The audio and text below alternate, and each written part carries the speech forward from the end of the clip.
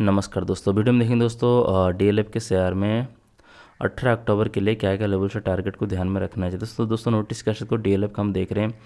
Daily time frame पे chart लगा हुआ है भले स्टॉक आपको यहाँ से ऑप्टर्न में कंटिन्यू करता दिखाई दे रहा है। दोस्तों, इसी कंडीशन को देखेंगे, स्टॉक यहाँ से अपना टैलेंट को सपोर्ट लगा के क्लियरली ऊपर बढ़ता हुआ दिखाई दे रहा है।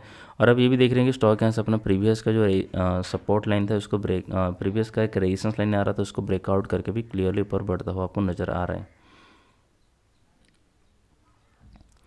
तो दोस्तों, अभी कंडीशन के हिसाब से फाइव सेवन सेवन पर आपको रेजिस्टेंस लाइन दिखाई दे रही है। जैसे इसको ब्रेकआउट करेगा तो स्टॉक एक अच्छी तेज़ी आपको ऊपर की साइड में दिखाएगा।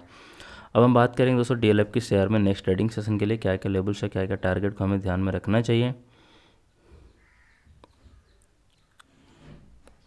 तो आपको दिखाई दे रहा है दोस्तों फाइव सिक्स फाइव में एक सपोर्ट लाइन है रेजिस्टेंस लाइन की बात करें तो फाइव सिक्सटी नाइन पर आ रहा है।